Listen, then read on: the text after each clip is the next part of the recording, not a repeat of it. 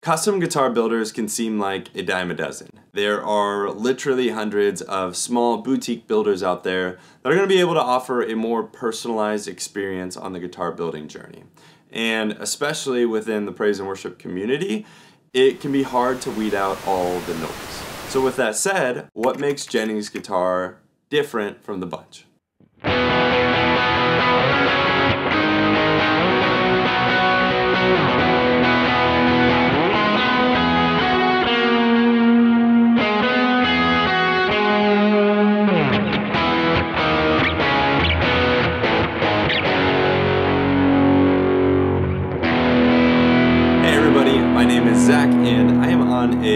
Massive goal this year to get to 10,000 subscribers. So if you want to be part of that journey and you enjoy gear reviews, tips and tricks on tone, or guitar lessons, be sure like and subscribe. One other quick disclaimer, Chad from Jennings Guitars did send me this guitar to put together a review.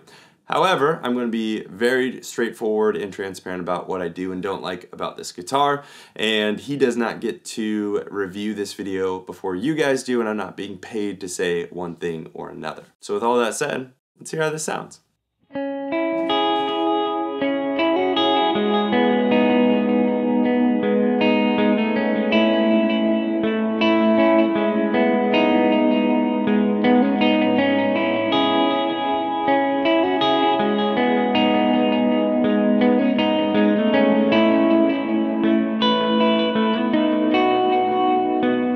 Foremost, I think we can all appreciate just how beautiful this guitar really is. Starting off with the Swamp Ash body and the gorgeous exposed grain in satin black. This is gonna be something that immediately helps this guitar stand out from the crowd. And I think Jennings does a lot of these really awesome finishes on all of their guitars. One last cherry on top is going to be the unique name engraved on the pickguard. I think that's a really cool personalized touch. This guitar is going to be fully equipped with top-notch electronics. It's going to have a Bigsby B5 with a roller bridge, and then Lambertone's cremas in it.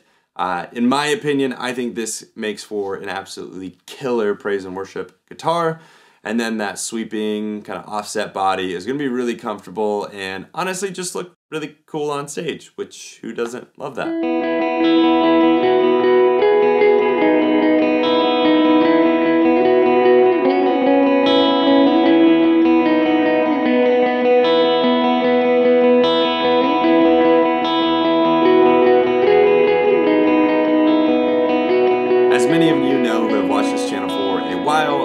Neck is typically going to be something that makes or breaks it for me. And in this case, I'm really happy to say that Jennings makes a fantastic neck. I absolutely love the flame roasted quartersawn maple neck and then that rosewood fretboard.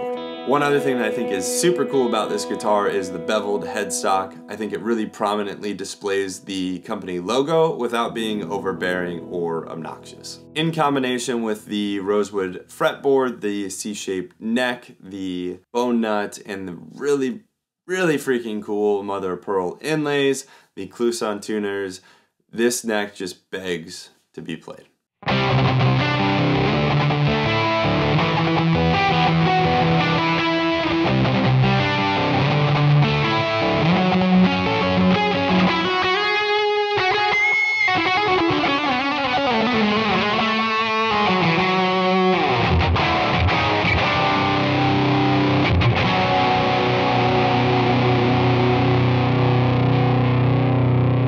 First and foremost, my list of dislikes with this guitar are really small.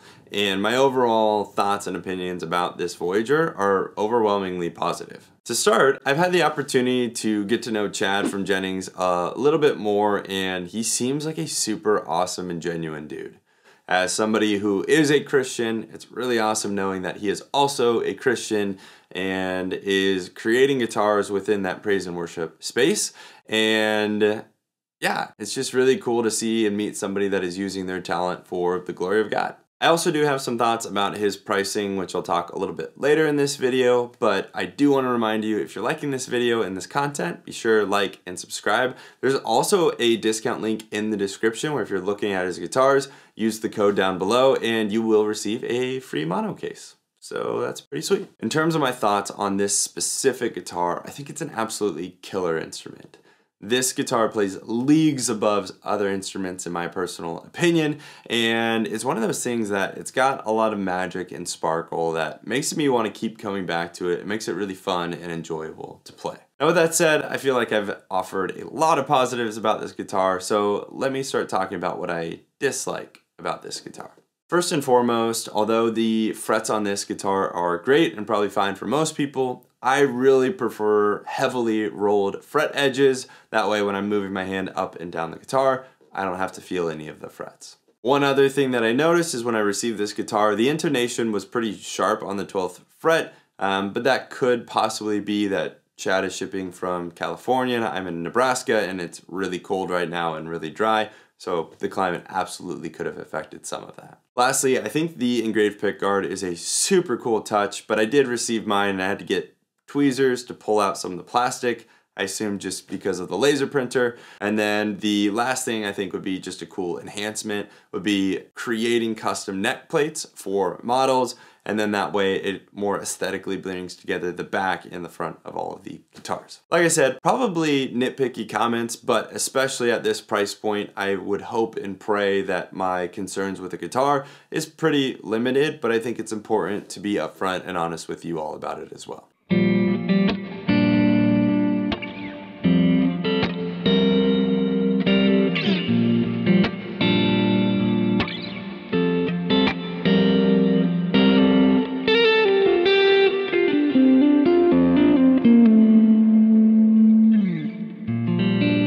Another thing that I've been super impressed with Jennings guitars is just their ability to create an instrument that aesthetically just flows together.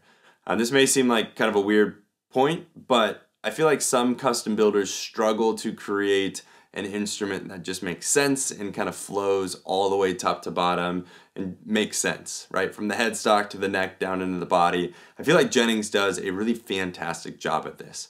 That and honestly, their Instagram feed is probably one of the most beautiful guitar feeds that I've seen out there.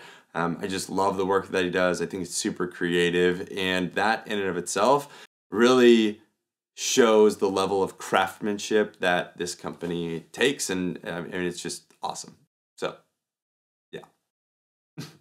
Now, I did mention earlier that I want to talk a little bit more about the price of these guitars. Now, since they're a custom builder, that obviously depends largely on what you add into your guitar, but typically you're around that 2,800 to $3,500 price point. Now Jennings is also working to put together a kind of pre-spec build that is going to have standard options be more readily available and have a shorter time to delivery, and that's going to typically run you around 2,600 bucks. Now this next thing I'm about to say is probably the most important thing I've said in this entire video, so listen up.